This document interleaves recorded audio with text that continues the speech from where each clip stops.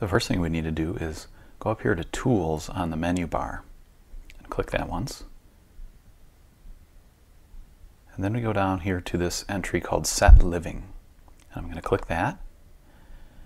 We get this little dialog box that allows us to tell RootsMagic whether we're going to want to toggle this living flag on or off, true or false, respectively. And in this case, we're going to leave it selected to false. If yours is true, just change it to false by clicking here and setting it where you want it to be. And then right here on this OK button, we'll click that. Now what we need to do is mark people who meet two conditions. The first is that their living flag is set to true, and the second is that they were born more than a certain number of years ago. In this example, I'm going to choose 120. So we'll go up here to Mark Group button, and I'll click that. And then I'm going to select this entry right here, select people by data fields.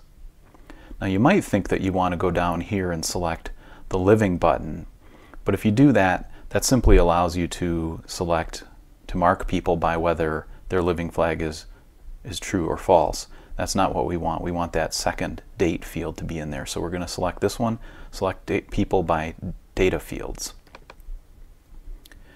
And the first field I want to set is the living flag. So I'm going to scroll down here to that and click living flag. And I want this to say living flag is true. And then the next field that I want to search on is birth. So I'm going to go down here and select birth and the date is selected automatically and then I want this to change from equals to is before. And it's 2010 right now so I'm going to set this to uh, if the birth is before 1890 and the living flag is true then I want those people marked.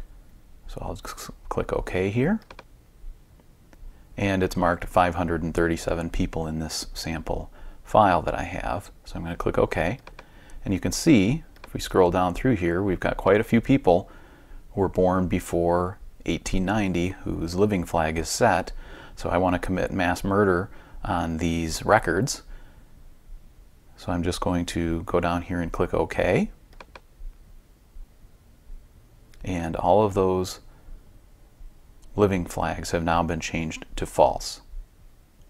We can verify that by running the same process again. So we'll go to Tools, Set Living, accept the false setting, and click Mark Group.